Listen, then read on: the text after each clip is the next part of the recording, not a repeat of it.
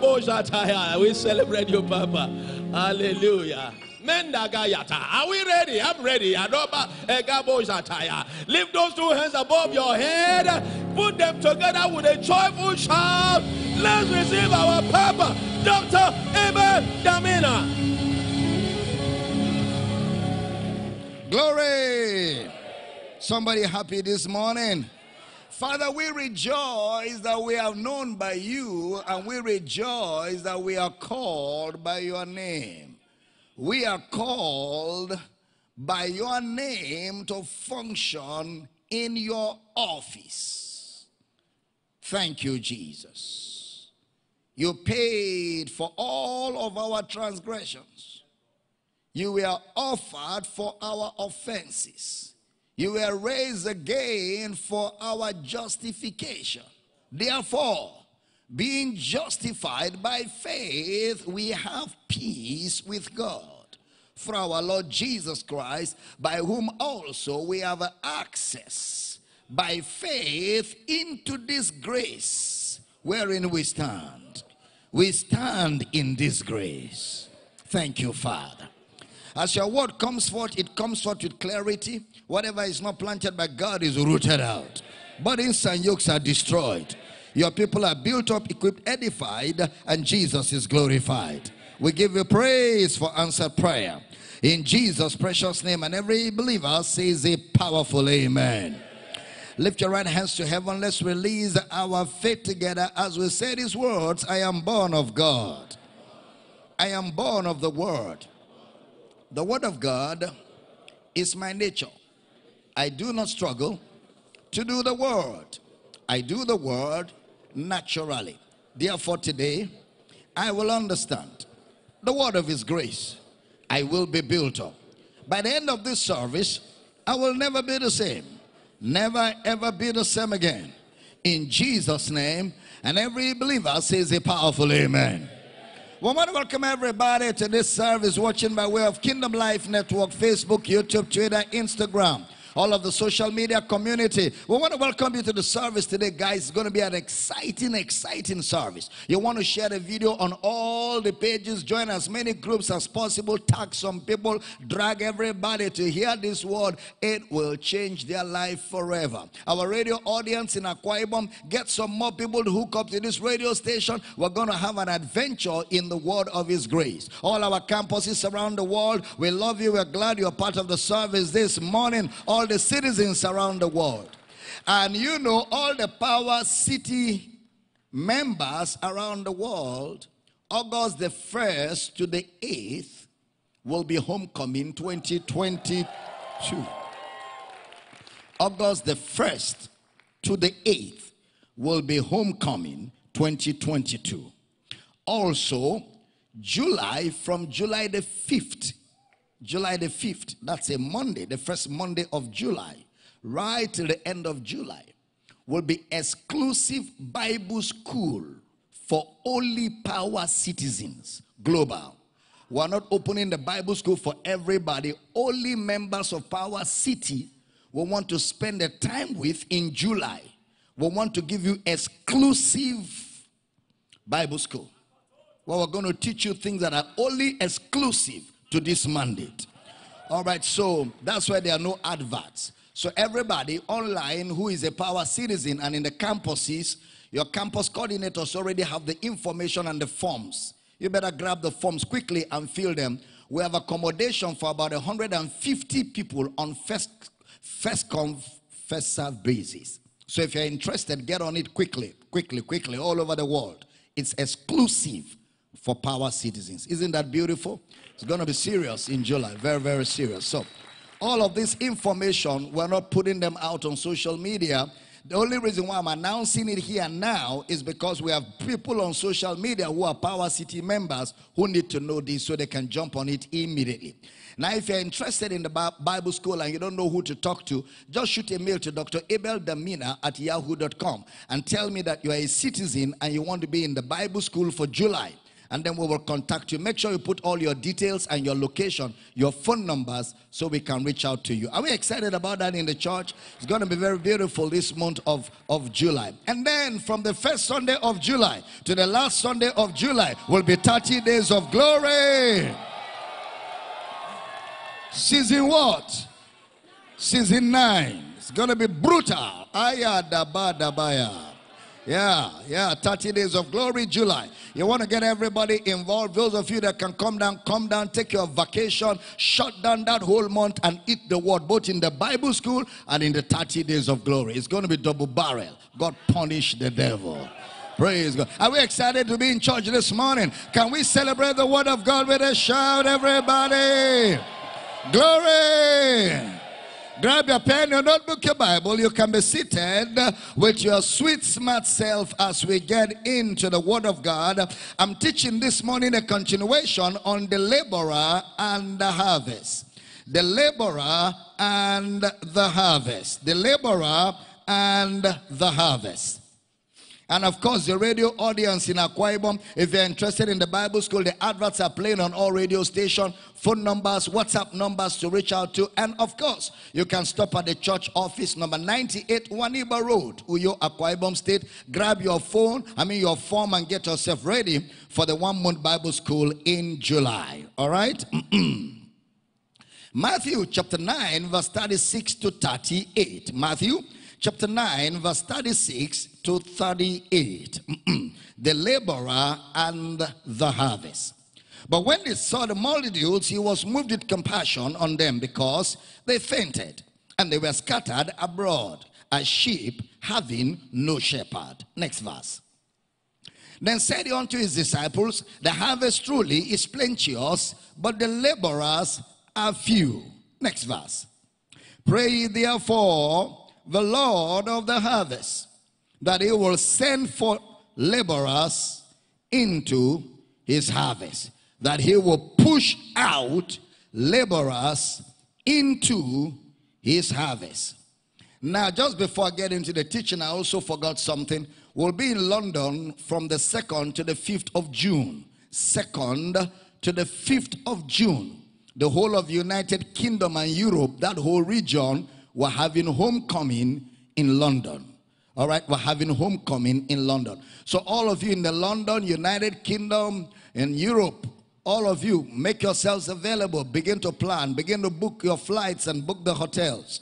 Now, for details to be part of the United Kingdom and Europe conference, my office will pin the details on the screen. You can get the emails, the numbers, the WhatsApp to reach out and begin to plan for the second to the fifth of June. The conference will be in London. All the info are on my Facebook page. Check it out there on the broadcast. Praise God. All right, so we started looking at the call of the missionary. The call of the missionary. A missionary is a man on a mission. A man on a mission. He is the man on an assignment. He is not a man that is just busy. He is a man on a divine assignment. That is a missionary.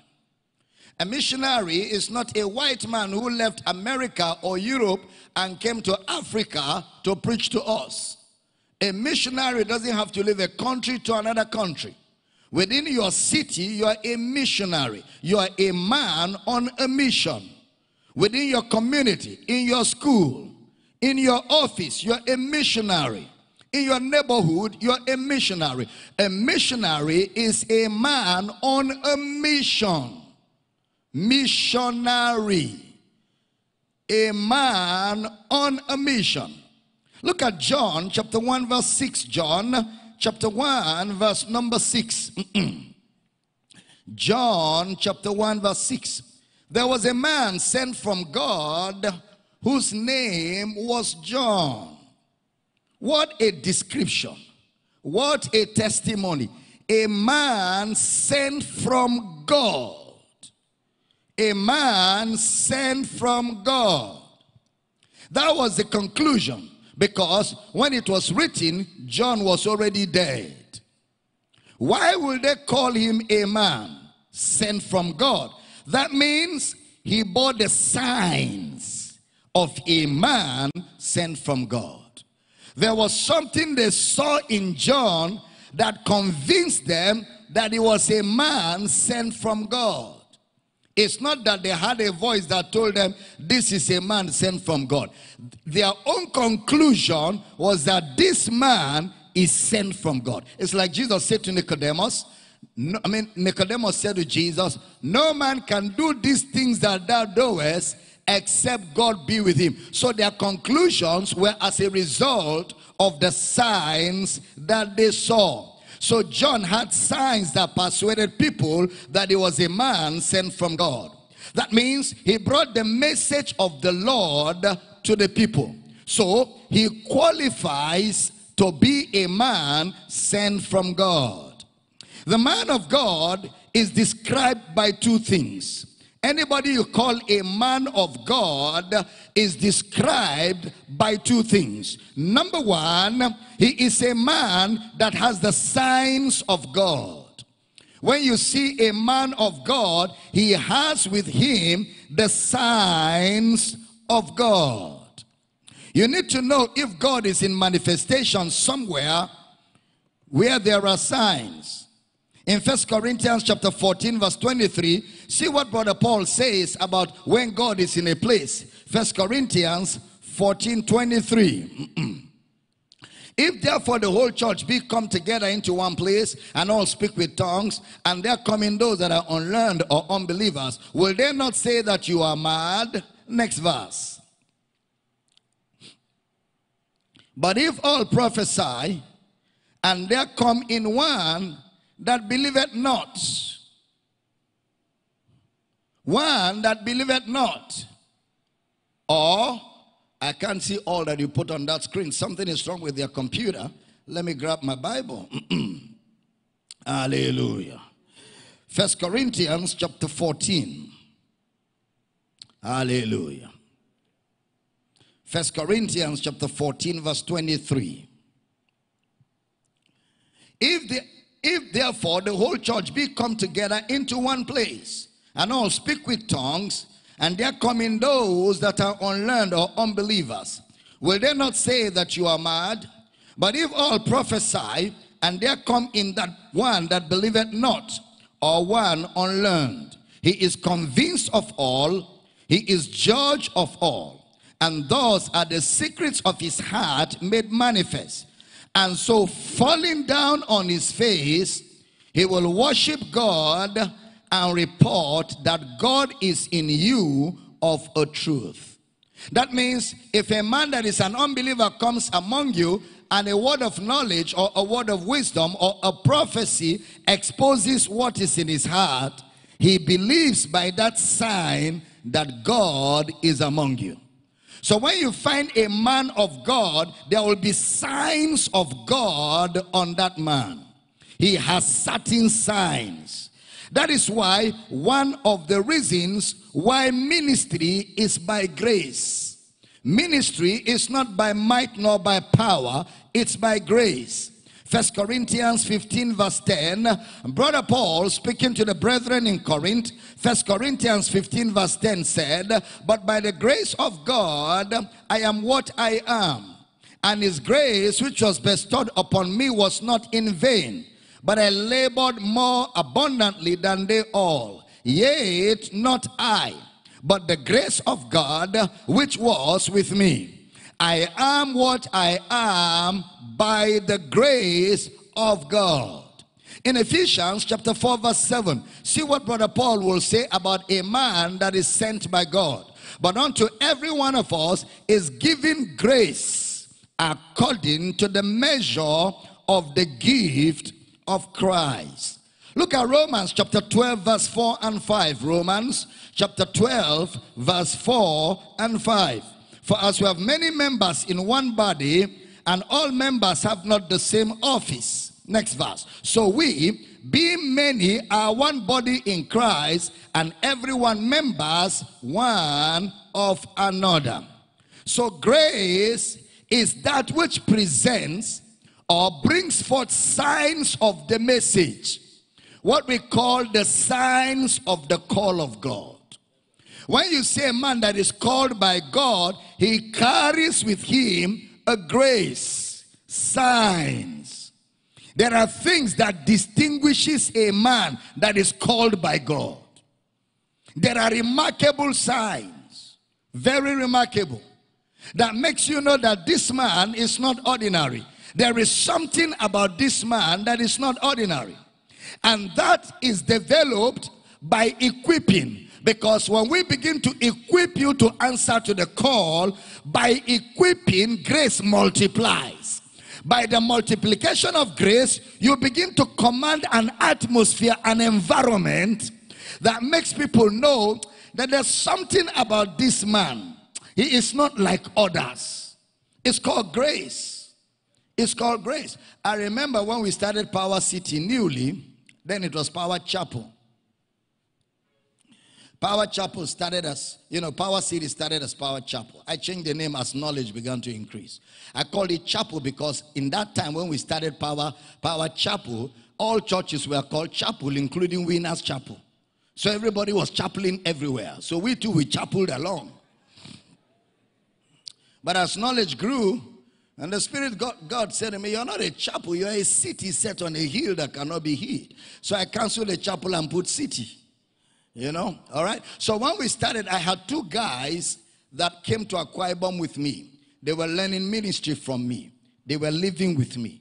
I went everywhere with them. One of them could sing very well, and one of them could pray very well. The one that could pray was the one leading prayer. The one that could sing would lead in songs, and then I would teach the word. That's how we were together, a team. And when I'm traveling to go and preach, I take two of them with me. And I was exposing them to ministry and teaching them ministry but they were too much in a hurry and they were ambitious, two of them. I think they are still in Akwa. They may even be listening to me now. Some of you will know them in church. And then after a few years, we have started Power, Power Chapel. One of them was always leading in praise worship and he will sing special songs. And the other one will lead in prayer. And we were just enjoying ourselves working together as a team. But after a while, you know, it was very obvious to everybody that I was the one in charge of this whole thing. These guys were just following me and learning. But they wouldn't take that. So competition began to occur among them. And then they began to say to me, You're not the only one that is called. We too are called. So sometimes we too will need to preach. Don't just make us sing and pray. We too have to be preaching. Maybe we should be rotating it. You preach this Sunday, I preach the other Sunday, the other one. I say, ah, ah, ah, ah, ah wait, let's start. Let's let's go back to history. Both of you came to me and said you wanted to work under me.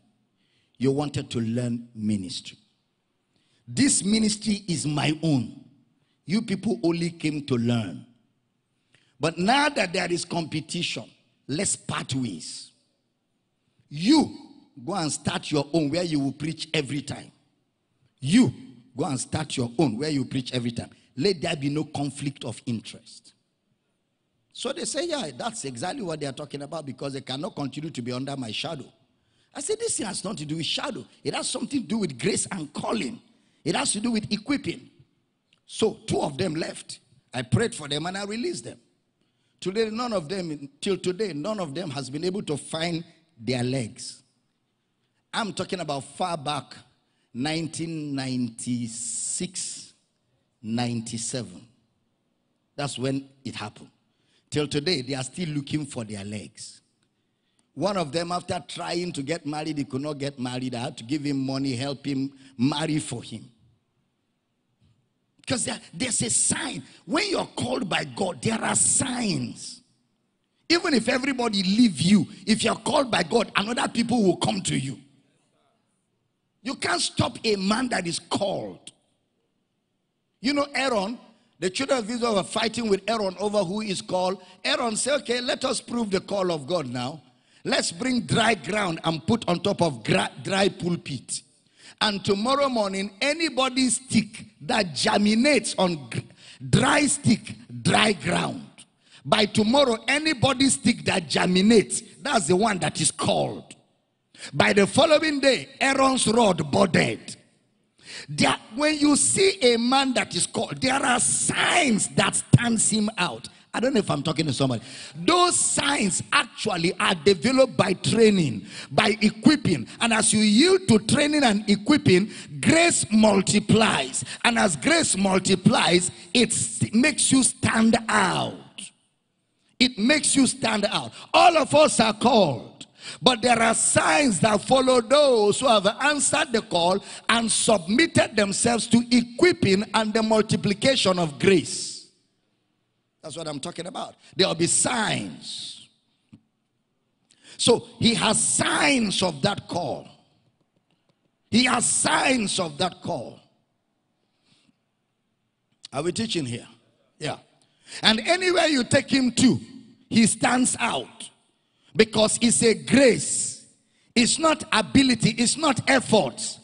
It's not about what people want, it's not public opinion It's a grace, a charis. And you can't buy it in the market. If you don't have it, you don't have it. It's a grace. There's no competition, no fight. It's a grace. And this grace cannot be duplicated. You're not hearing what I'm saying. You can't duplicate. Did I tell you last Sunday that the call of God on a man goes with the man? Did I say that last Sunday? Anywhere he goes, it goes. With, if he dies, he dies with the call. He dies with that ministry. Nobody transfers it to another. We can transfer training, we can transfer teaching, but we cannot transfer grace because grace comes from Jesus. And the grace multiplies in your life as you keep learning His word. Please, this is very important. Very, very important. So, the man of God is not a noise maker. The man of God is a man that has the signs of God. He has the signs of God.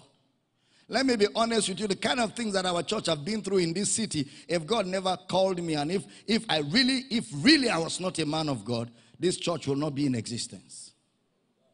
How many of you know what I'm talking about? This church will not be in existence. This church is in existence, and you're enjoying all of this in spite of what we've been through, in spite of everything that has happened to this ministry, because God called us. God called this ministry. God called me. And that's why there's no conspiracy, no amount of bad mouth, no amount of attack, no amount of disloyalty, no amount of opposition, even from within, has been able to quench the light of this house. Why? Because I am called by God. There are signs of a calling. Am I teaching here? Yeah. You can do nothing against a man that God has called. Even God cannot withdraw the calling. Is it men that will stop the calling? Even God Almighty cannot withdraw the calling. Is it men that will stop the calling? No man can stop it. No man can stop that call. And that's why we're equipping you so that you too will produce those signs and that grace so that you can fulfill the will of God for your life in spite of and irrespective of whatever comes your way. Teaching good. He has the word of the Lord. That's the second thing. A man of God has the word of the Lord. A man of God has the word of the Lord. And the word of the Lord will always make people free. The word of the Lord will continue to bring encouragement. The word of the Lord will always bring comfort. And the word of the Lord will always bring correction. The word of the Lord. But the most important thing is that the word of the Lord draws men towards God. The word of the Lord draws men towards God. That is a man sent from God. Another thing you will see in the life of a man that is sent from God is that man is a man of prayer. He gives himself to prayer because he knows he has been sent. He knows he has been sent.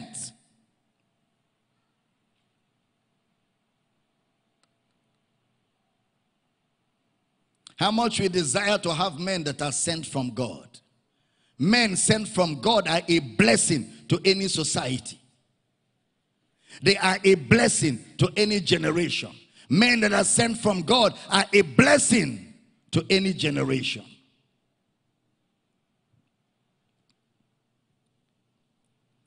I mean, some of you that want to be honest with yourselves, just picture in a, in a, in a split second what will have been missing in your life if I was not in your life. Just picture for a second. What will have been missing in your life today if I wasn't in your life? So, men that are sent from God are a generational blessing. Blessed are the feet of those who bring good tidings. We bring the blessing. They are a blessing. They are a blessing. So now we said that the missionary can be split into three or four, four, four, four responsibilities. Number one, a missionary is a fisherman, a fisher of men. Number two, a missionary is a tent maker. Number three, a missionary is a tent mender. Fisherman or fishers of men, tent makers, tent menders. Matthew chapter 9, where we read, the harvest is plentiful, but the laborers are few. Who is a missionary? A missionary is a laborer in the harvest. A missionary is a man on a mission. What mission? The mission of God to teach, teaching all men to observe all that Jesus has commanded. So laborers are missionaries. Laborers are missionaries. Those who toil at the work. A man that cannot toil in the harvest is not sent by God. Any man that cannot toil, that is not toiling in the harvest, is not sent by God. When God sends you, He sends you to toil, He sends you to labor. you know, I love this verse of scripture. Put it up for me on the screen. The book of Mark, chapter 3, verse 14. Mark 3:14. And he ordained 12 that they should be with him first and that he might send them forth to preach. So the first call of God is a call to be with him. Anytime God calls you, he is calling you to be with him. Watch everybody. Pastor Prince, come. Come. What did I do? I called. What did he do? He responded by coming. Step up, Pastor Prince. What some people do is when God says, Pastor Prince, come, they go and open a ministry. You ask them why, they will say, God called me. There is a difference between calling and sending. When I call, I'm not sending. I'm calling you to come so I can now detail you what I will have you to do. But many people, when they say, God, call me, they will call the church the Call of God Ministries International. No, he didn't send you, he called. Now, Pastor Prince, step back again. Let's try something together. If I say, Pastor Prince, come, just walk there and lift your hand and do like you're starting a ministry, okay? Pastor Prince, come. How does he look? Funny, right? Many preachers today have not even answered the caller, but they have started a ministry. That's why they don't know what to preach. That's why they're preaching nonsense. Because the call is so that you can come. Let me give you content. So that a man that is sent without a message, is he sent? Because when you are sent, what will you be given? A message. So when God calls you, the first thing is to answer the call and come to the caller. He called them to be with him. That as a result of being with him, he will now send them forth. Being in this church means you have answered the call. Did you understand what I'm saying? All of you in Power City, you have answered the call. Part of answering the call is sitting down to learn, sitting down to be equipped, sitting down to understand the message. Then, when the message is understood, you are now sent to go on a mission. Is it clear? Uh-huh. So, thank you, Pastor Prince. So, when people say, God called me, tell them, tell them, call you did you answer the caller? He said, Yes. How did you answer? I've started a ministry. Tell him you have not even answered the caller yet. God called some, others just went. You, you are now understanding. Are you understanding now? God called some, others just went. And if you come across ministers who just went, it's very clear. It's very clear. There are those preachers who are preaching for their belly. They are in ministry for their stomach. Stomach infrastructure is the motivation for their ministry. A missionary is a man with a clear mandate, a clear assignment, a clear message. He's not confused. And it begins with the call of God and the man answering the call. When you meet a man that is sent by God, his priorities are different. His priorities are different. So, the fisherman, the fisherman, Psalm 67, verse 2. I will read both the Amplified and the Living Bible. Let's start with King James. 67 verse 2. For they shall soon be cut down like the 67, not 37. Psalms 67 2. That thy way might be known upon earth, thy saving health among all nations.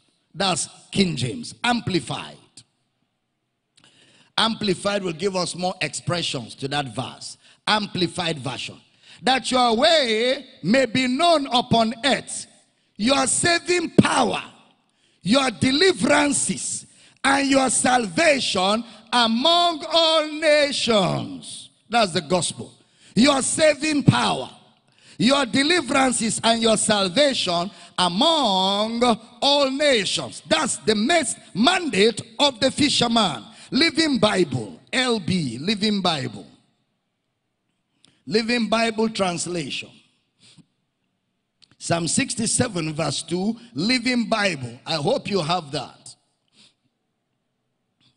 Living Bible. If you don't have Living Bible, put back in James. Let me know you don't have Living Bible. You see, doesn't have Living Bible. You'll have been wasting my time.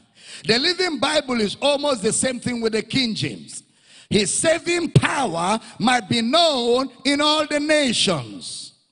The good news of Christ, death, burial, resurrection ought to be preached in all the nations.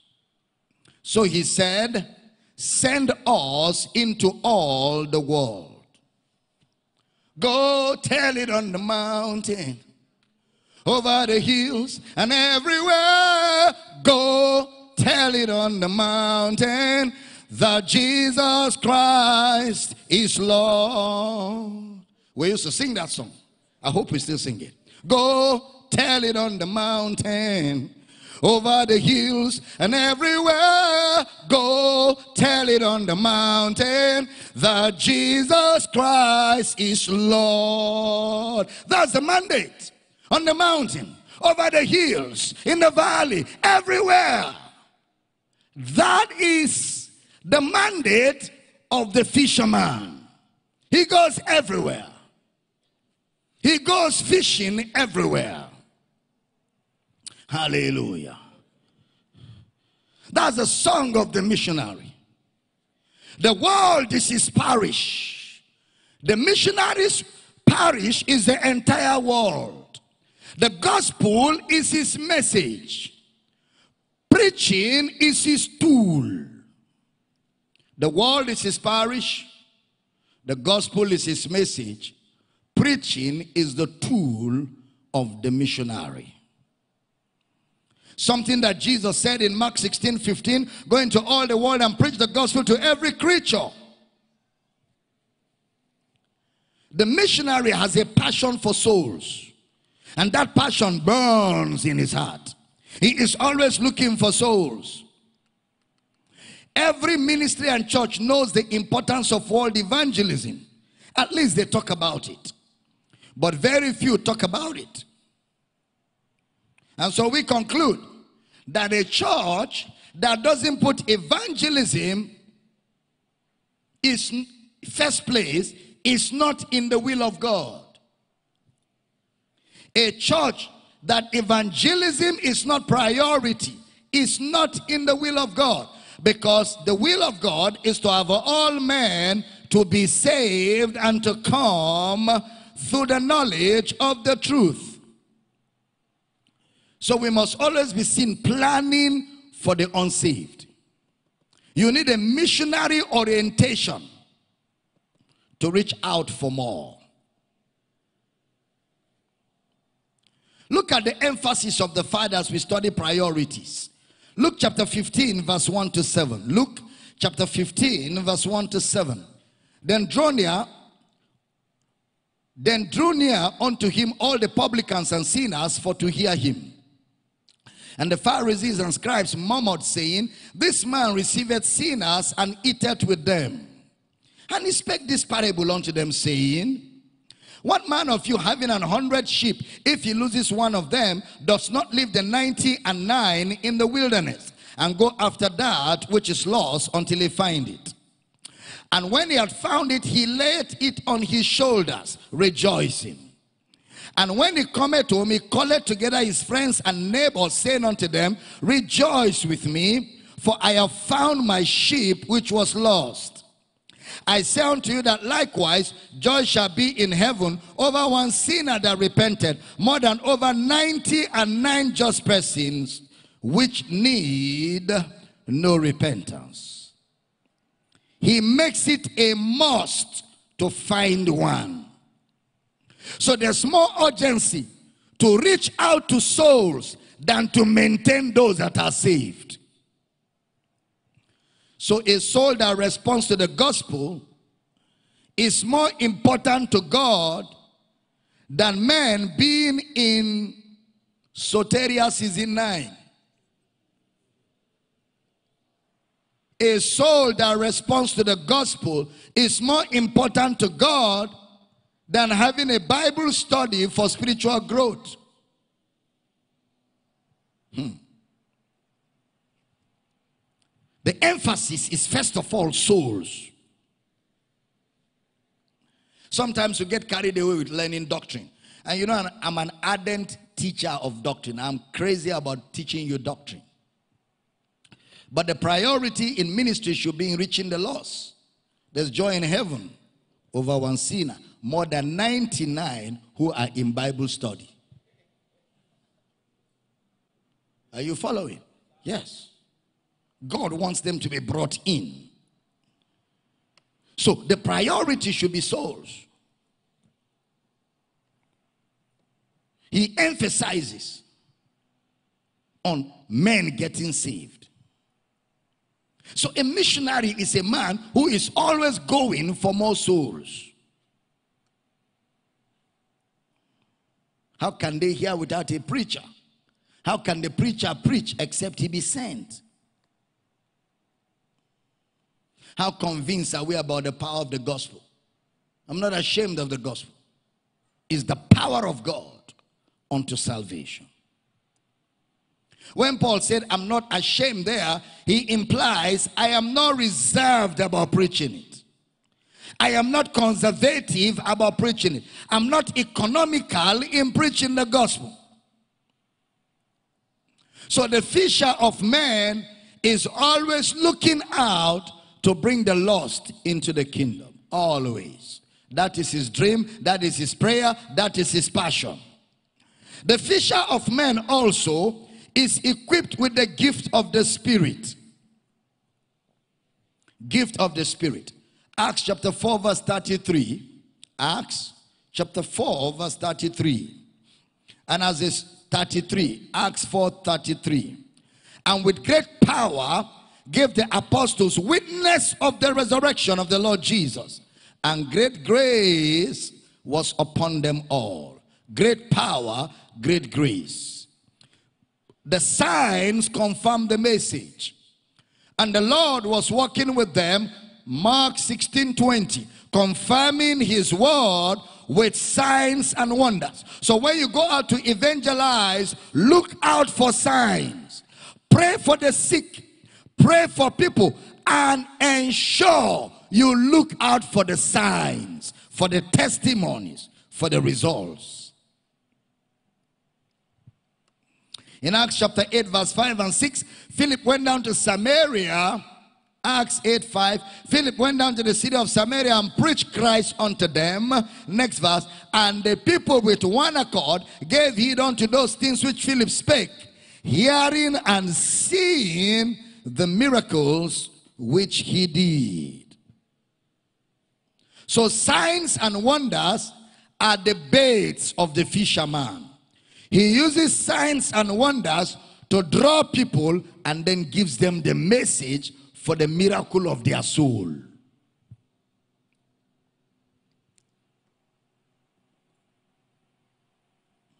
The call of God does not need more grace. Give me grace to follow, abundant grace to follow. Give me grace to follow. That grace is enough. You don't need more grace. The call of God on your life is the grace of God. That call is the grace. You don't need more grace. You don't need to pray for grace. That call on your life is the grace of God. So the call of God does not need more power. More power. More power. More of you in my life. It's a long time I had that song. Huh? My love. Get born again, my friend. The day you got born again, all the love of God came on your inside. The day you got born again, all of God's power came on your inside. You don't need more. You have all. Use it. A man not using it is as good as a man who doesn't have it. The proof that you have it is when you start using it. I'm teaching good. You never know how loaded you are in this church till you leave this church and go to a place where they have never heard the gospel before. You will be the latest Abel Damina in that place. I'm, t- I'm telling you. You will teach like these people will come out, they will write notes then when you finish, you will do ask the counselor. They will ask you, you will be surprised how you will be answering questions. You don't know what is entering you. Jacques Laraba. I know what I'm talking about. Are you not learning?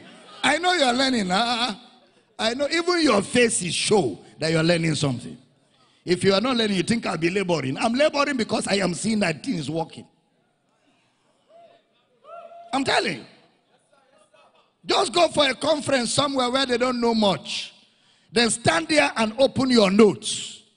and read four five lines of your note, you will see how they will shout, The gods have come to us in form of men. Don't shine light in light, shine light in darkness. The glory of light is in darkness, and the world is full of darkness. So take the light to the world. Am I teaching good? Yeah, take the light to the world. Take the light in the world. Woo! Walk in the light, beautiful light. Come where the dewdrops of mercy shines bright. Shine on among us by day and by night. Jesus, the light of the world. Walk in the light, beautiful light. Come where the dewdrops of mercy shines bright. Pastor Praise is smiling because in his mind he's thinking of the old choir master is awake. Shine on around us by day and by night. Jesus, the light of the world. Jekoladabaya. You are the light of the world. A city set on a hill that cannot be hid. Are you getting blessed? Are you getting blessed? Are you getting blessed? So, you don't need more power. You don't need more light. You don't need more fire. Shine the one you have.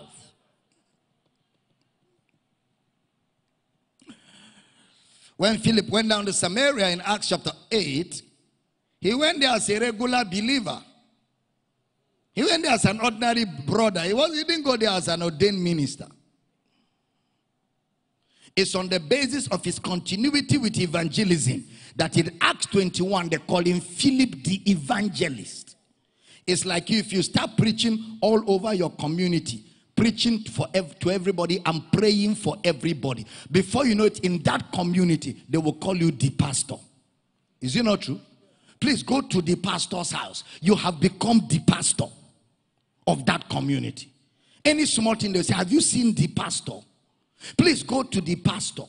Please, let's go and meet the pastor for prayer. You are not their pastor, oh, but because of your activities in the community, they have identified you as the pastor. Am I communicating at all? Yes. Philip the evangelist, because of his activity with evangelism, they gave him that title. Ministry is a verb, ministry is not a noun. Ministry is what you do. There's no noun for ministry, it's a verb. So the signs and the wonders that follow the word of God authenticate the message.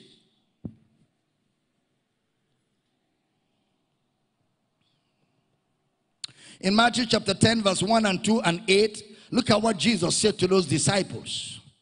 And when he had called unto him his twelve disciples, he gave them power against unclean spirits to cast them out and to heal all manner of sickness and all manner of disease. Next verse. Now, the names of the twelve apostles are these Simon, called Peter, Andrew, his brother, James, the sons of Zebedee, and his John, John, his brother. Give me verse 8. Verse 8 of the same context. Heal the sick, cleanse the lepers, raise the dead, cast out devils. Freely you have received, freely give. Freely you have what? Received. Freely what? Freely give. He gave them power. Along with the mandate to preach is the power of God. Along with the mandate to preach the gospel is the power of God.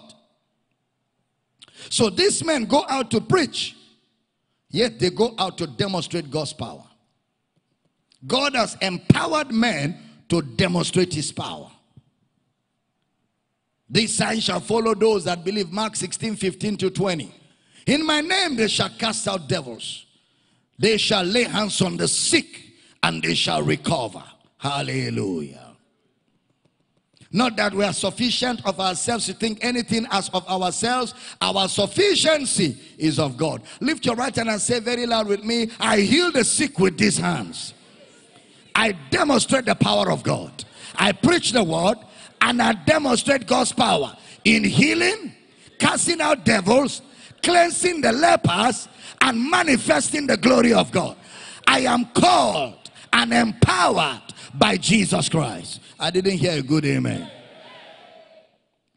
We preach, we heal, we cleanse wherever that need arises. So we are the ones that minister salvation. We are the ones that minister salvation. So also we are the ones that minister healing. We are the ones. We don't call God to minister. We minister as an extension of God to the sick. We pray for them. If we find demons making noise, we excuse them out of that person. We preach and we pray and declare God's mandate over his people. Are we still here? Are we still here? Yeah. The fisher of men goes to win souls. Now, let me mention something. The gospel is crowd oriented. Write that in capital letters. The gospel is crowd oriented. Crowd. The gospel of Christ is crowd oriented because Christ died for all. So we must preach the gospel to reach more people. Acts chapter 2, verse 41.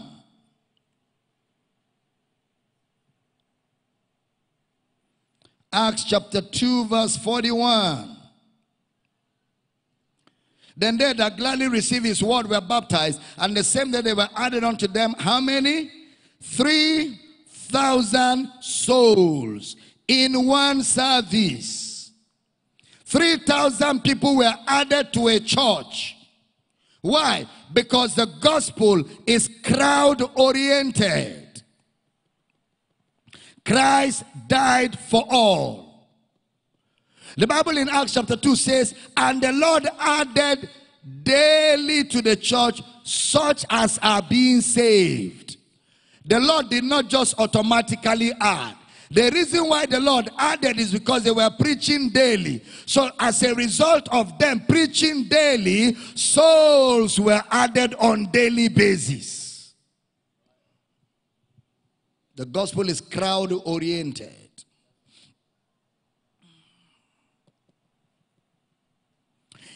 In that same book of Acts, 5,000 people were added in another meeting. 5,000 people were added to the church because the gospel is crowd oriented.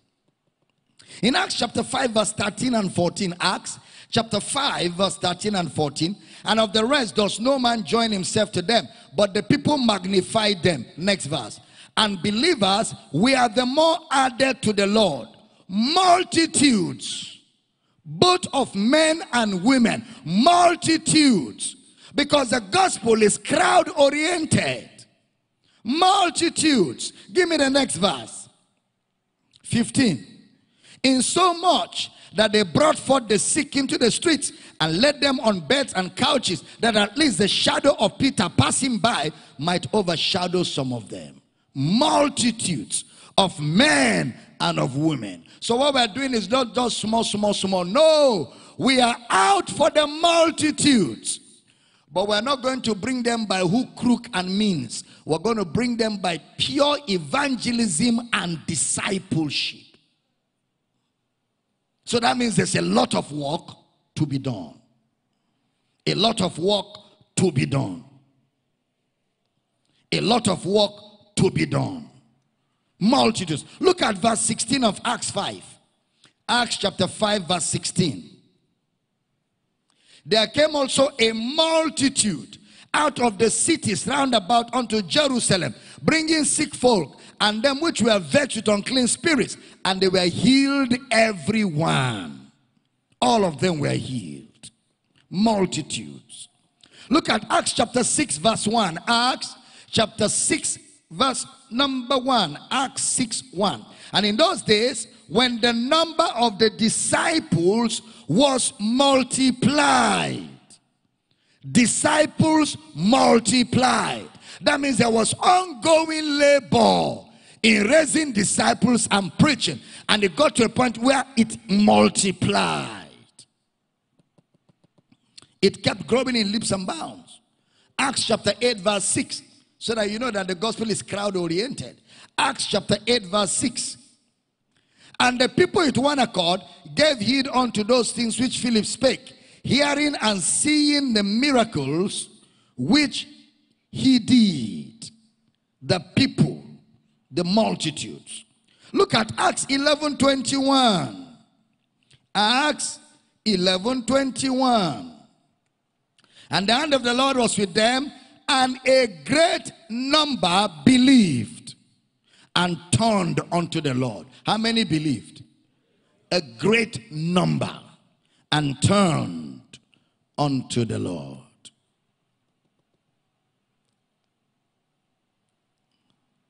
You must look big, think big, walk big. You must walk with growth in mind. You must think growth. You must picture multiplication. Very important. You must want more.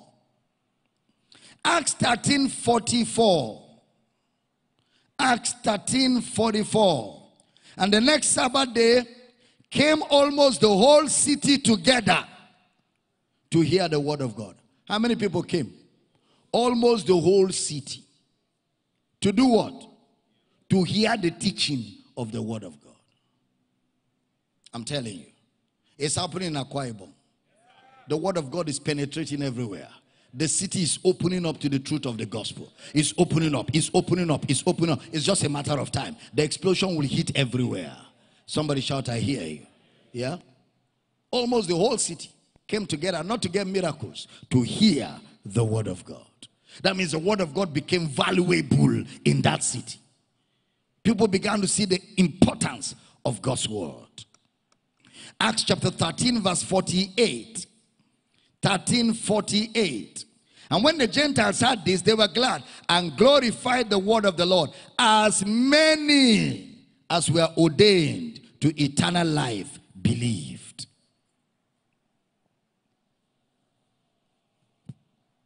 Praise God.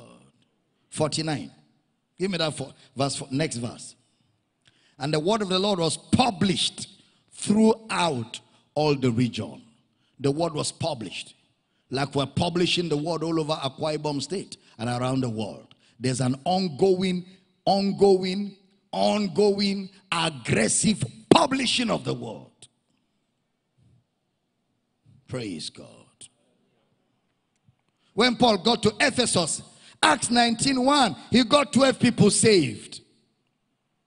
As they continued, some believed. Look at Acts 19, 17 to 18. Acts 19, 17 to 18. And this was known to all the Jews and Greeks also dwelling at Ephesus. And fear fell on them all. And the name of the Lord Jesus was magnified. And many that believed came. Many that did what? Many that believed came and confessed and showed their deeds. They came, many, not a few, many. Look at verse 19. Many of them also, which used curious arts, brought their books together, burnt them before all men, and they counted the price of them and found it 50,000 pieces of silver. Verse 20. Oh, glory to God. So mightily grew the word of God and prevailed. What grew? The word of God. The gospel is for many. The gospel is for many. The gospel is for many. Even when Paul was under detention, Acts chapter 28, verse 8. Paul was under detention. Acts 28, verse 8. And it came to pass that the father of Publius lay sick of a fever and of a blood, bloody, bloody flux to whom Paul entered in and prayed and laid his hands on him and healed him. Next verse. Verse 9. So when this was done, others also which had diseases in the island came and were healed. Next verse. Who also honored us with many honors. And when we departed, they laded us with such things as were necessary. Look at verse 24 of Acts 28. Acts 28 24. And some believed the things which were spoken, and some believed not. So there are times people will not believe for some time, but we keep at it until they believe. So it wasn't many people that rejected the gospel. More people received the gospel than those who rejected it. See that. Acts 28 30. Getting blessed? 28 30. And Paul dwelt two whole years. How many years? Two years in his own hired house and received all that came in unto him. He stayed in that city for two years. The gospel is for all. And as a missionary, you must have a crowd orientation. You must have a crowd orientation. Now, listen, not seeker sensitive, not seeker sensitive. Seeker sensitive are those churches that say use every strategy you can to bring them in. That's seeker sensitive. No, we're talking about a crowd that will come as a result of the genuine teaching and preaching of God's word. That's what we're talking about, not seeker sensitive. In fact, they got seeker sensitive to a point where they even have what they call Chrislam. They have what they call Chrislam. Christianity with Islam combined together in a place. So it's not Christianity, it's not Islam, it's Chrislam. Because of seeker sensitive. They are trying to accommodate everybody at the expense of the message. And they forget that the message has offense inside. Jesus said, if everybody speak well of you, you are in trouble.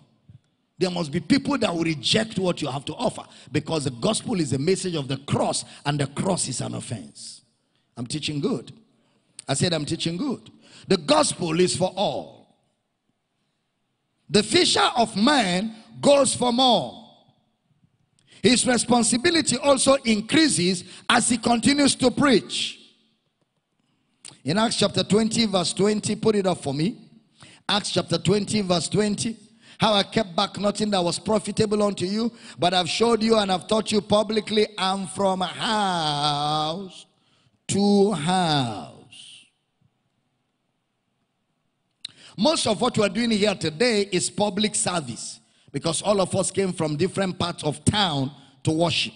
Some of us even came from other cities to come and worship here. All right? Now, as a missionary, you go to where the sinners are. You don't invite them to where you are, you go to them. A missionary goes to where, as a fisherman, a fisherman goes to where the fishes are. He may have a swimming pool in his house, but he doesn't fish in the pool. He has to go to the river where fishes are. So a, a Christian missionary goes to where the sinners are. Please, that's very important. My vision is to meet people where they are. A preacher of the gospel should have a fair estimate of his vision field. The second responsibility of a fisherman is he is a tent maker. Tent maker. That's where Brother Paul comes in, tent maker. Many were getting saved, but the work has not, was not well established. We are not called to touch and go, touch and go. No, it's not hit and run. A missionary must be able also to incorporate another aspect of the missionary's calling, which is tent making. Tent making implies to create the atmosphere for spiritual progress and development. That's tent making. To create the atmosphere for spiritual progress and development. That is tent making. First Peter 2 2, Brother Peter says, as newborn babes, desire the sincere milk of the word that you may grow thereby.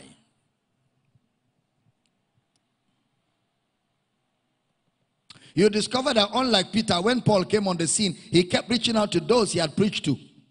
He went back so that he can establish them. That's tent making. He makes the atmosphere conducive for them to grow. Very important. Many people have learned to be fishermen, but they have not learned to be tent makers. So they are good in throwing seed, but they are not good in helping the people that they plant the seed into to be established. A missionary must be both a fisherman and a tent maker.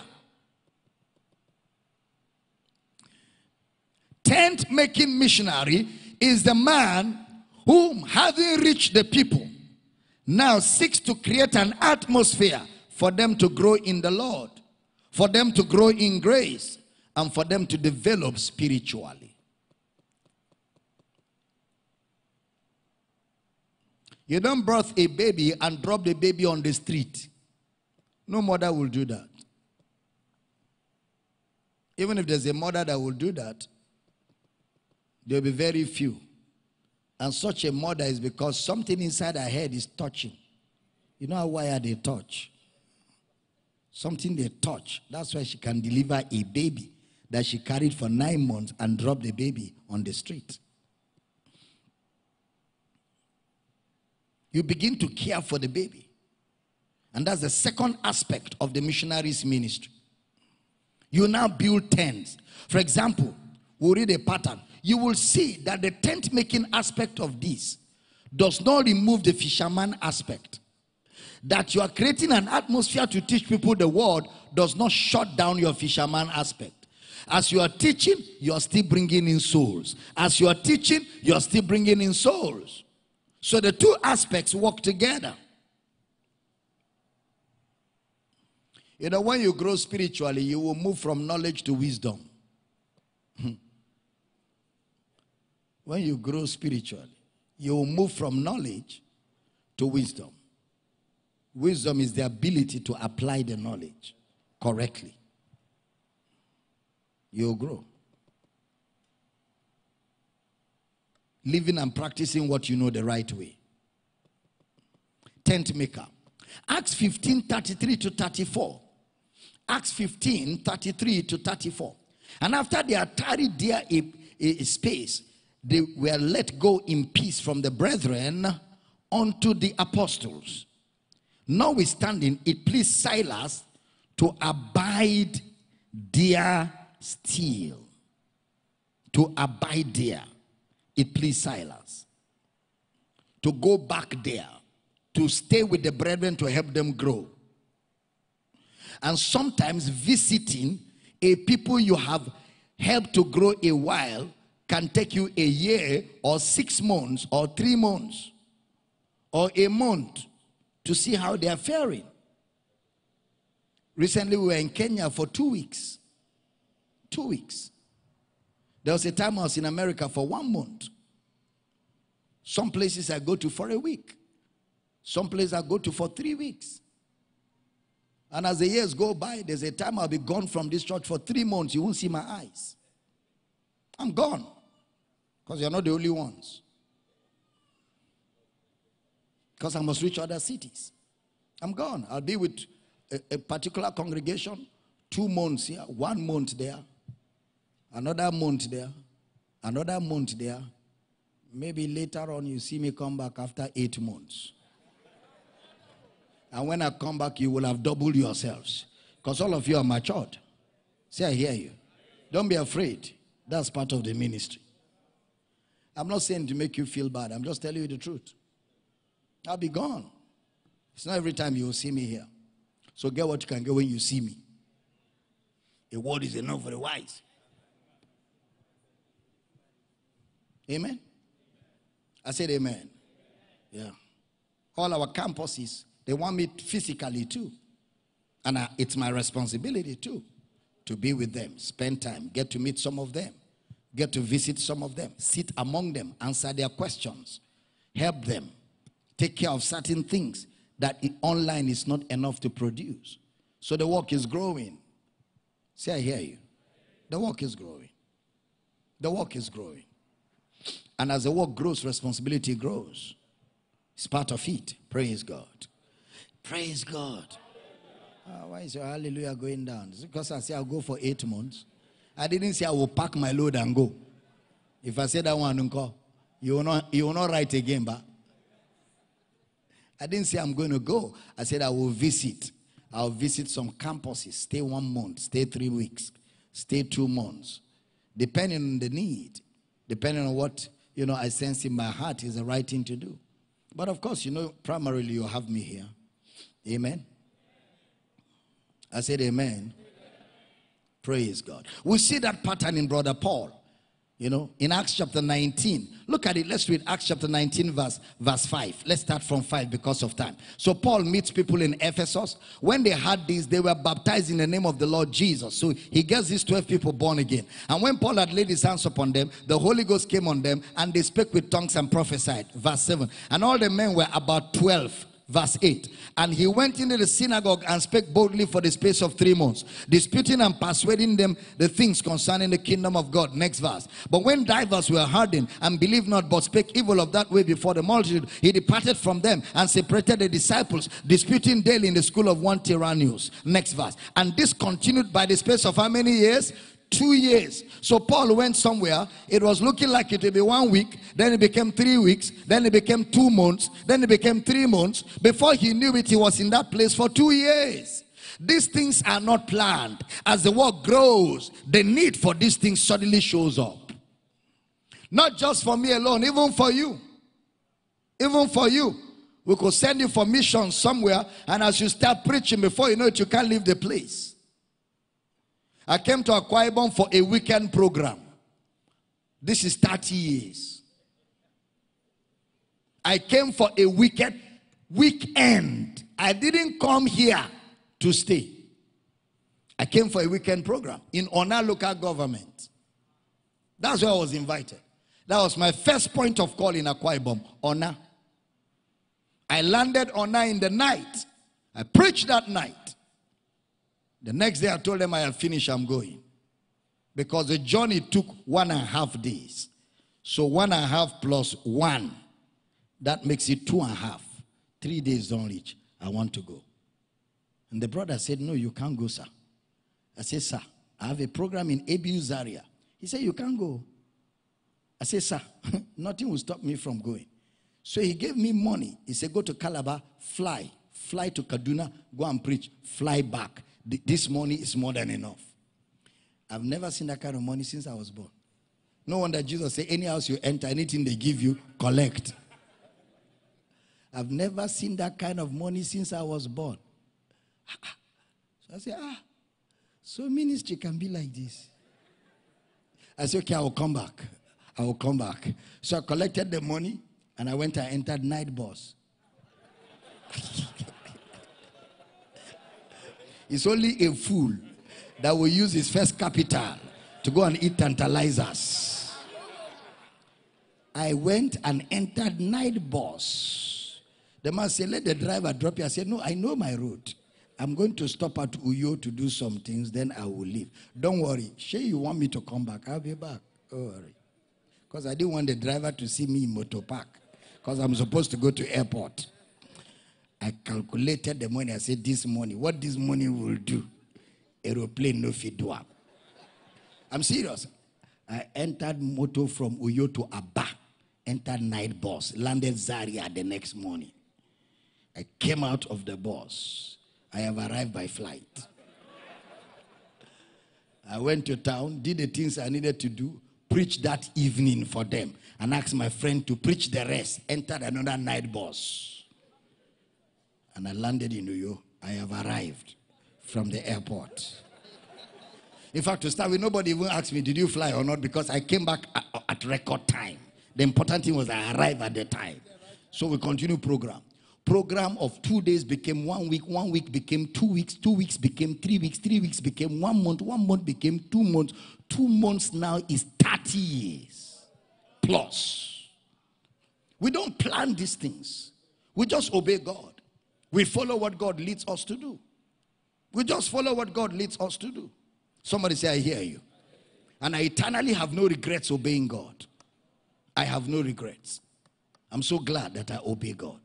And I will continue to obey Him. Praise God. I said, Praise God. You too will never have regrets obeying God. Lift your hands and say, I will obey God no matter what it costs. Because at the end of the day, obeying God pays eternally. I didn't hear a good amen. Three months became two years. Teaching the disciples. That means as he was teaching, he was reaching out for more. As he was teaching, he was reaching out for more. So you can see the tent maker as he is also reaching out to the unsaved.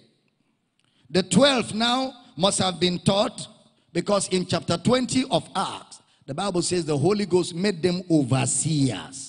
So which means it was not only the 12, there was there were many people such that the 12 can be overseers of the crowd. So it was not just discipleship. It was discipleship plus evangelism. If i'm communicating can i have a good amen?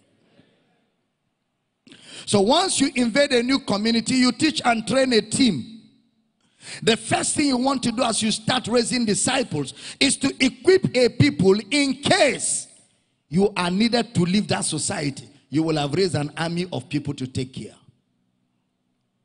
That's why no leader should be able to just lead alone. When you start leading and people start coming in to your house center, your campus, your house fellowship, among the people that are committed and faithful, you start giving delegated responsibility. You start giving responsibility until you are no more needed. A successful leader is a leader that will lead a people not to need him not to need him where you are not needed where you whether you are there or not everything is fine. That's success. Don't be a leader that wants to do everything. You cripple everybody around you. You must be a leader that is able to delegate and supervise. You supervise and as you're supervising you're withdrawing. As you're supervising you're withdrawing. As you're supervising till where you are no more needed. That's success that's success. The more you're a leader that is not needed, the more successful you are. It means you are good in raising people. And when you raise them, you leave them to do the job. You only supervise. You only supervise. Both in the campuses, you know, and in all the house centers. That's how we should, because then we multiply leadership. And when there's multiplication of leadership, there will be explosion in outreaches. We multiply leaders. Don't be the one doing everything. Let people do other. Sometimes even allow people to do other thing, all the things. You just sit down and watch. Praise God. I said, Praise God. And Brother Paul left that place after the message was everywhere. Now, take these two things as a close characteristics of the tent maker. Number one, the tent maker sees a congregation in a man. When he sees a man, he is not seeing a man, he is seeing a congregation. The tent maker sees a harvest in a seed. When he sees a seed, he's not seeing the seed, he's seeing a harvest. A man is a congregation for a tent maker. When he sees one man, that man is a platform to reach everyone. He's a platform to reach everyone. One man, platform to reach everyone. I just came back from Bauchi State yesterday. We want to preach in a local government called Tafawa Balewa Local Government in Bauchi State. Some people say they say I will not come because preachers don't like going to those places. I said, not my kind of preacher. Me, I'll enter anywhere for this gospel. So we went there. Dr. Gabriel is still there. I donated him to them for a few days. But he'll be back within this week. We were there. And then we found out that the man we went to preach for is the first pastor in Bauchi State that started an indigenous ministry. That's the first pastor. He's a prof, he's a professor. And the man was telling me that 1997 when I was preaching in our church in Jos, he was in the meeting. He's been following me. So when he handed over his ministry to the bishop that is taking over from him to oversee the ministry. The bishop said to him, My daddy in the Lord, who do you want to be my mentor? I need a mentor that will mentor me in ministry. He said, he told him, Dr. Abel Damina, go for him. So the bishop started following my teachings. And that is how they organized for me to come to Bauchi and go to Tafawa Balewa. And then I discovered that in that Tafawa Balewa, the whole church understands what I'm preaching. We were speaking the same language in that kind of place. We were speaking the same language. I was blessed to see that. Where this message has entered, even you, including me, we have no idea. We don't even know what God is doing. Pastor Matthew showed me a, a an American lady, white American, in Wisconsin, in America, who has been following me for five years. I don't even know her. It's just Pastor Matthew that enabled me to know her. Otherwise, I wouldn't have known there's such a person. She said, All my messages, she has translated them in books, books, books, books, books, all my series, and translated them for the deaf and the dumb. So she has a big facility for the deaf and the dumb. So as, as every day when I'm teaching, she will stand there and be ministering to the deaf and the dumb my messages. I didn't know such a thing is happening in America. I didn't know that. Pastor Matthew showed me their discussion. I said, My goodness, where this thing is going, we have no idea at all. But God is doing it because it's His work. All we're just doing is we are just making our mouth available for God to be talking. He's the one doing the job. Faithful is he who collect, who also himself will do it. Are you all following what I'm teaching here? People are embracing the gospel of Christ. The message is breaking through leaps and bounds. The message is penetrating every man's world. You sit here and look at my face every Sunday. It, it not be like that too. the thing don't jump fence. Too late for the devil. Glory to God. and friends, it's just the beginning. It's just the beginning. Yeah, because we're going we're going to make it so that you won't hear anything else. This is all you'll be hearing. All over the nations. Go tell it on the mountain, over the hills, everywhere. Glory to God. Glory to God. Say with me, I'm a fisherman and I'm a tent maker. In a soul, I see a congregation. In a seed, I see a forest. One man is a platform to reach others. What brought me into that story was that one man, one man who has been following me since 97 became the platform to reach a community of his own people. One man never look down on anybody. You never know what a person has the capacity to do where the gospel is concerned. You never can tell. There are people in China who are pushing this message. Pastor Matthew told me that in a particular place in India, there are a group of people that are fellowshipping with us every Sunday on their own. They are not a campus. We don't even, we, they don't even know that we're, we, we, you know, we're doing campuses. They just gathered, located my teaching, and they are growing in number, following, and then reach out to Pastor Matthew on WhatsApp. The impact is beyond you can imagine. We keep praying every day, and we keep preaching. Glory to God. Oh, I'm not hearing your amen. Say with me, I'm a fisherman. I'm a tent maker. I create environment for spiritual growth among my disciples. I didn't hear you again. I'm a tent maker. I am a fisherman. I am always reaching out to bring souls to the kingdom of God. I didn't hear your amen. And as the days go by, many more campuses will be launched around the world. As the days go by, many house centers will be open all over Akwa Ibom State. As the days go by, many more disciples will be raised around the world. And as the day goes by, this gospel shall be preached all over the nations. If your amen is louder, you will be a part of what God is saying. Stand on your feet. That's all I've got for you in this service. Praise God. I say, Praise God. I said, Praise God. So a man that is a tent maker will see a church in one person. He will see a church in one person. Next Sunday, I will talk about this tent making some more. We're going to talk about church planting, how to establish a church, how to establish a campus, and how to get people grounded and how to grow up the work. Hallelujah. Equipping the saints. Turn to your neighbor, say, I do the work of ministry. Tell your neighbor, grace is available. As we keep growing, the signs of a man of God will be evident in your life.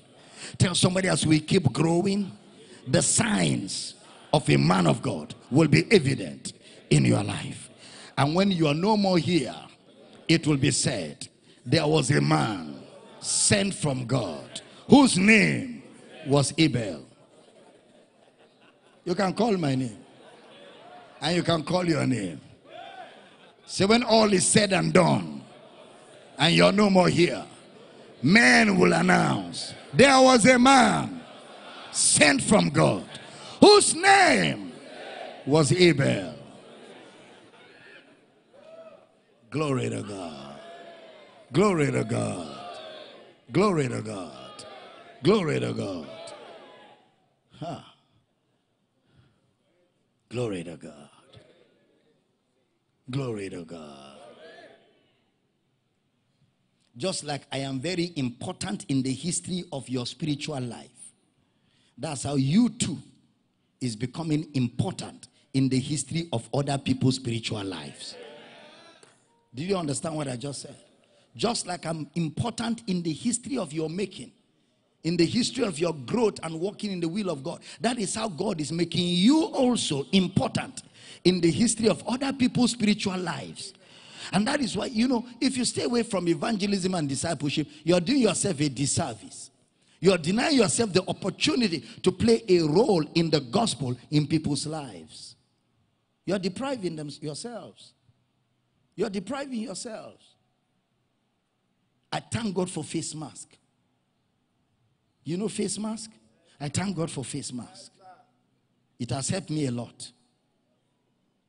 Because now I can move people. Many people won't know I'm the one. Even when they stop, I'll still be wearing my own. But I was with Pastor Matthew and Pastor Priska at the airport yesterday. Uh, uh, uh, as soon as we got to the airport, I told them, my face mask, put it. And then we're standing and talking, and people are coming. Hey, Dr. Damina, I just saw you from afar. I knew you were the one. I said, ah, even with the face mask, maybe we shall be wearing back marks and face masks.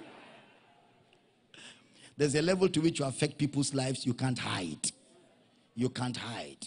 A woman was sitting at the airport. I was talking with Pastor, uh, Pastor Dr. Gabriel. The woman just ran and came to me and said, Daddy. So I looked at her. She said, Yobe, I'm in Yobe State. You don't know me, but I watch you on KLN always. And the moment you stood there, I knew you were the one. That person must have been watching and watching and watching and watching. And I've started seeing me in the dream. You know, there are people that see me in the dream. Even here. You see me in the dream, right? Because you are hearing me too much. Too much activity. So you start seeing me all over. So the same way it's happening with me and people, that's how it will be happening with you and people. Because the same way I'm impacting you, you too by evangelism and discipleship, you'll be impacting people who will impact people who will impact people. So there will be multiplication of impact. If you agree with me, can I hear powerful amen? Say with me, I'm a fisherman, I'm a tent maker. I raise men for the kingdom of God. I didn't hear powerful amen. I'd like you to grab somebody and begin to pray for that person. That the passion, the zeal, the fire for souls, the fire for evangelism, the passion to save souls and to raise disciples will increase in the heart and in the life of your neighbor. Let's pray together for one another. The zeal, the fire, the zeal of the house of the Lord. Legra namba bo satana. Legra namana. Engelebo zakala baba. Angelerebo zakala. The zeal, the fire. Sokea. Angelenemo sokolere bobo. La braga dabara. Ragra dabaraga. Angelenemosa. Angelenemosa. Angelenemosa. Angelenemosa. Let's minister to one another. Online, let's pray for each other. Online, let's pray for each other.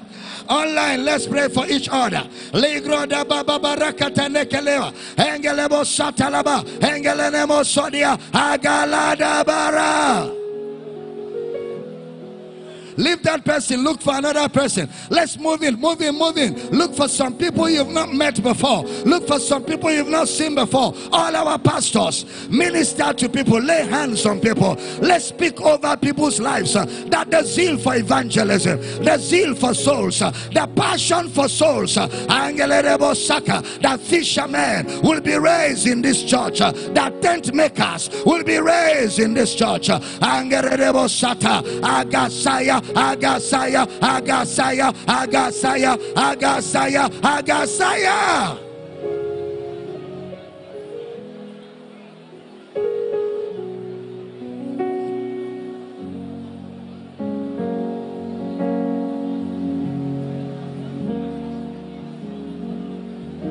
Oh! Stir up your neighbor. Stir up your neighbor. Provoke them unto good works. Zino sekeleremos. Hey! Branda ganglenemos sotalanamas. Rando lobo robo regedede sekeleremos. Thank you, Lord. Thank you, Lord. Thank you, Lord. Lengo sekelerebo sayadabas. Reko shakan. You can lose the hand and pray for yourself. The zeal of God has consumed me. I'm on fire in my soul to see men brought to the kingdom, to raise men for the kingdom. I'm on fire in my heart. The zeal of God, the zeal of God, the zeal of God for evangelism, for raising disciples. That passion, my heart is aglow, my mind is aglow. Rakosemiananana, elebo shakayanamas.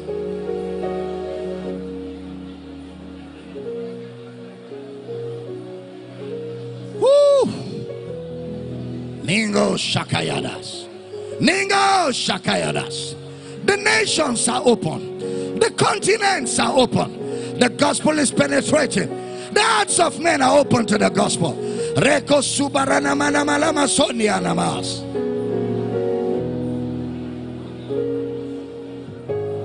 Thank you, Lord Jesus. Praise you, Father. In the name of Jesus. Heavenly Father, I pray for everybody under the sound of my voice in this building, in all our campuses, global, online, and everywhere people are hearing the sound of my voice on radio. I ask that the zeal, the passion, the fire for evangelism, raising disciples, and building men for the kingdom is upon everyone hearing the sound of my voice. In the name of Jesus, we preach the gospel in and out of season. You're strengthened with might by the Spirit. You shine the light in the midst of darkness. You shine the light in the midst of darkness. You shine the light in the midst of darkness. You shine the light in the midst of darkness. Father, we give you praise. We fight the good fight of faith. We keep the faith. We keep the message. And we proclaim it on the mountaintop.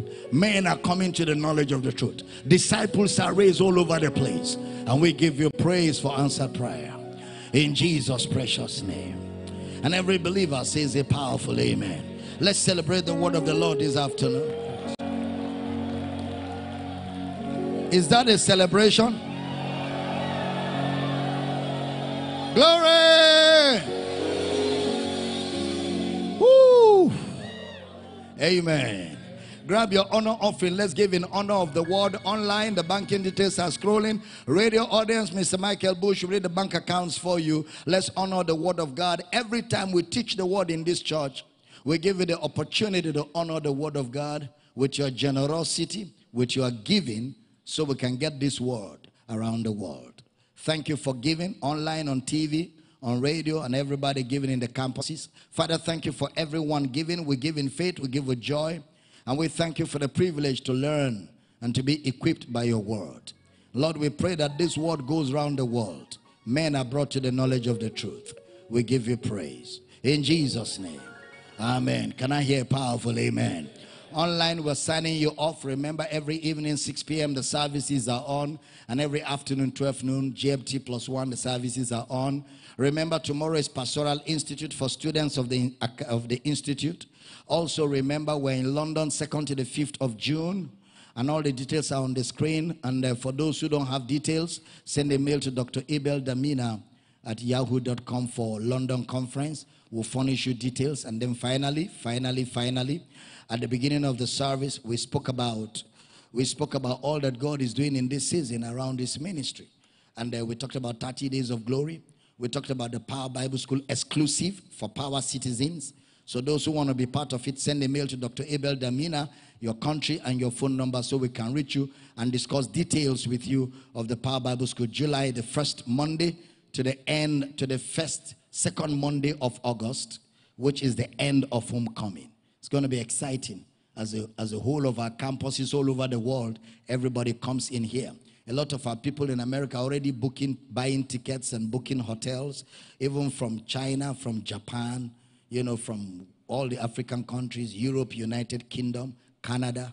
I mean, we have our people coming from all over the world for homecoming. It's going to be very brutal, highly corrosive. And even within the country, people are coming from all over the states. It's going to be a joy. Wouldn't you want to see your brethren around the world? It's going to be a great time. So plan and let's make it happen big time. All right? Praise God. We're going to sign you guys off. We'll see you as we bring the next service to you in the course of the week and every day, 12 noon and 6 p.m. GMT plus one. And don't forget, Wednesday is midweek service. Enjoy the rest of the day and be blessed. Anywhere on the pulpit, you drop your offerings. Hit the music as we celebrate the risen Lord. Glory to God. Hallelujah. I mean, y'all are glad that Jesus came. yeah, simple song, y'all. Listen, listen. I'm glad he came. Jesus. I'm glad you came. Jesus. Everybody sing with me. I'm glad you came. I'm glad you came. Sing Jesus.